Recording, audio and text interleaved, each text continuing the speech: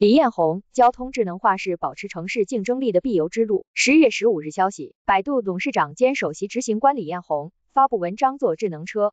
走智慧路，推动交通领域的科技革命和产业变革。他谈到，解决交通问题变得前所未有的迫切。一个智能交通系统应该能够有效的解决拥堵问题。现在大城市常见的限购限行政策，有望在五至十年内取消。小到交通信号灯的控制优化，大到搭建城市交通智慧大脑，从公交到地铁，从公路到港口，交通各行业各领域都在展开智能化尝试，局部效率改善比比皆是。